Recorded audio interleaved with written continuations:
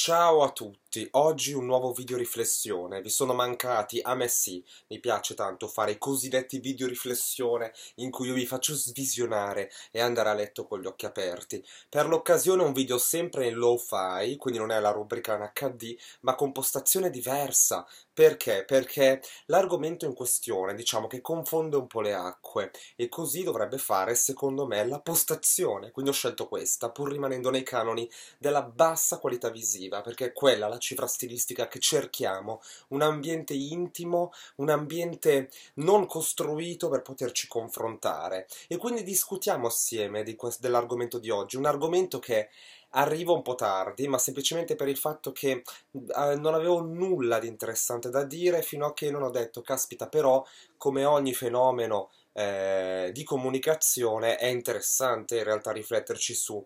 E allora discutiamone, anche per il fatto che molti di voi mi hanno chiesto che cosa ne penso. Un argomento appunto di trend su cui tantissimi youtuber hanno fatto video, reaction, molto spesso ripetendo le stesse cose, come accade sempre ma in linea generale diciamo che ne stanno parlando tutti, quasi come se si dovesse parlare di quello. Quindi un bello scossone mediatico deriva dal personaggio che stiamo per trattare e secondo me quando ci sono scossoni mediatici, che lo, lo si voglia o meno, la comunicazione sta funzionando. E sto parlando di Young Signorino e probabilmente lo conoscerete tutti, quello che fa alfa alfa alfabeto Arturo. E, e, e um, è effettivamente uno dei due video virali dell'artista. Eh, il musicista, riconosciuto come musicista trap, in realtà secondo me non è un vero e proprio musicista, è un performer, è diverso. Eh, e l'altro video, diciamo, virale è Dolce Droga. Eh, io ho guardato diciamo, questi video proprio per il fatto che quando hanno iniziato a spuntare questi video in cui si diceva reaction young signorino, ma comunque a livelli proprio esplosivi, ho dovuto vedere anch'io, perché la curiosità è proprio una mia indole espressiva in un certo senso, quindi mi sono appropinquato la visione e sono rimasto effettivamente scioccato. Eh, cosa che accade di rado, perché io sono abbastanza pronto e abbastanza preparato alle stranezze dell'umanità.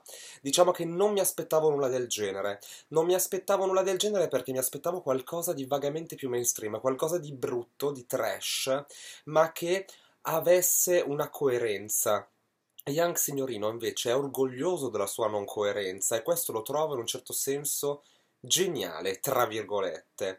Io trovo che la forza eh, dei suoi video sia nella incapacità del, del, dello spettatore di capire quanto sia effettivamente trash e quanto no. Eh, perché è una bruttezza che si fa guardare all'infinito. Eh, diventa veramente una dolce droga in un certo senso. Io più volte sono tornato su quel video con un intento ironico, ma poi ci arriviamo. Perché crea, diciamo, un dubbio, una discussione dentro di sé guardare un video, ascoltare una canzone di Young Signorino, perché la confezione, diciamo, è comunque di alto livello se ci pensate. I video sono una cosa pazzesca, ragazzi. Lo stile, lo stile, secondo me Young Signorino, come ha detto tra l'altro Barengo, uno youtuber che si occupa di moda streetwear, Young Signorino è effettivamente uno dei rapper meglio vestiti. E la cosa che mi è piaciuta è anche che mentre tutti i trapper, mentre tutti i musicisti, i rapper della trap canonici, eh, si vestono in modo eccentrico, un po' in, sotto lo stile Magucci, per dire, eh, è diventato un po' anche a noia, secondo me.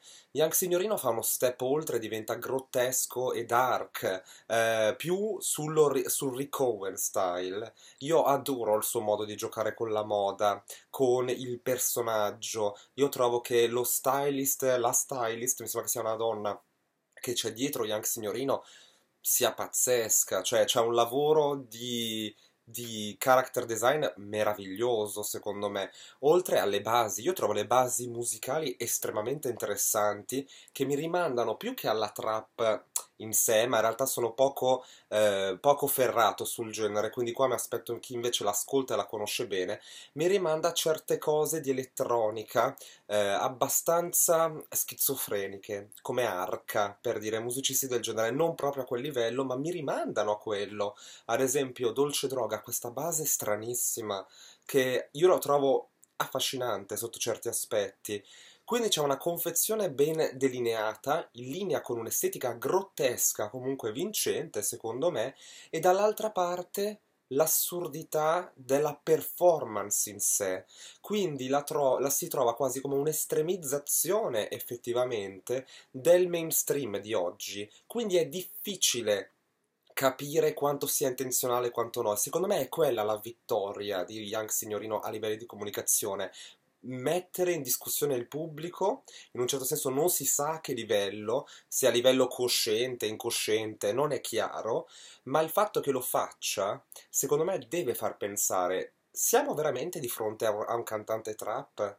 O siamo di fronte a un performer, a una performance?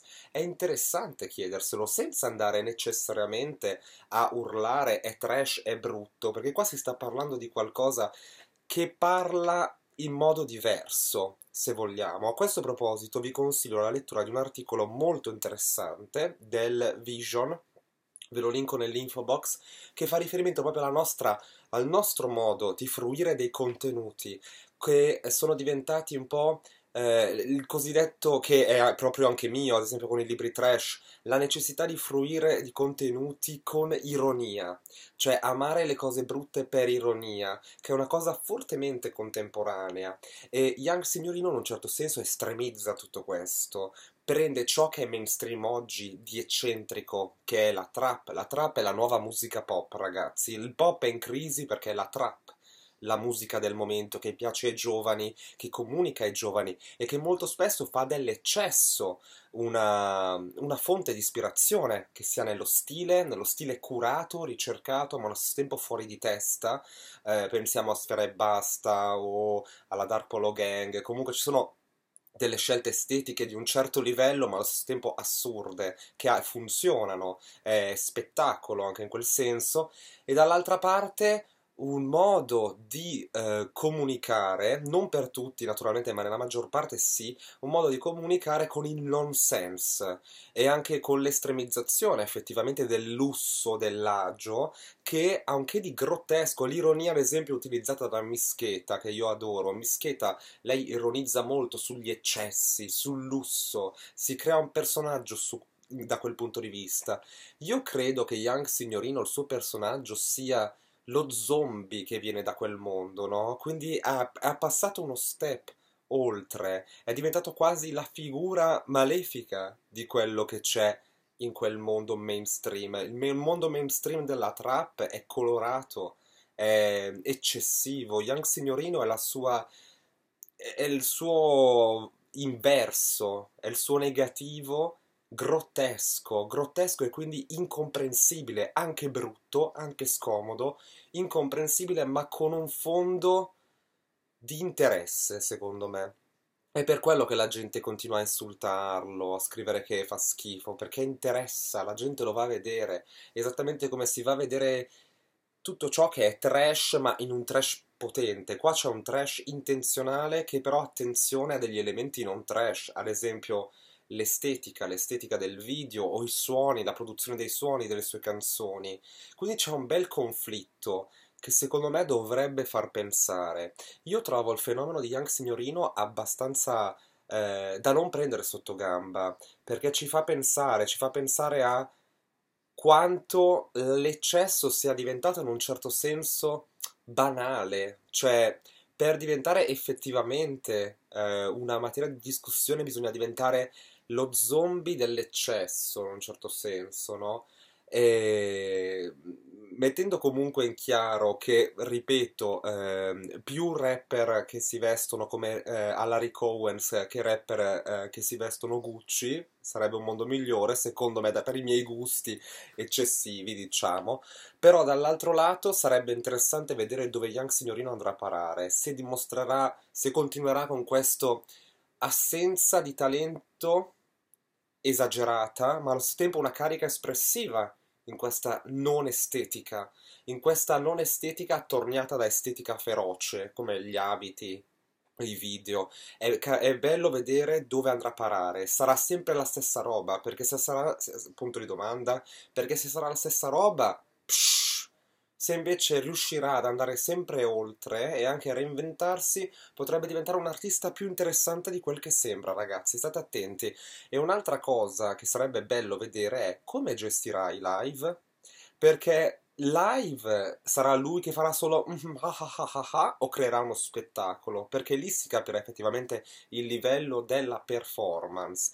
Ehm, poi anche le interviste che fa, lui è un character, cioè lui sta racco- racconta una vita di eccessi, di disturbi, quasi surreale. Noi non sappiamo se li ha effettivamente vissuti o no, ma non è neanche è importante saperlo, secondo me. Eh, ci sta trascinando in un mondo grottesco, in un mondo del brutto che però, secondo me, dei punti di interesse li ha. Quindi vi vorrei far riflettere su questo, non saltate a, confus- a conclusioni affrettate, chiedetevi piuttosto perché certe cose fanno parlare. Questo è il mio pensiero, fatemi sapere cosa ne pensate. Io vi mando un bacione, vi aspetto al prossimo video. Ciao ciao. Ciao.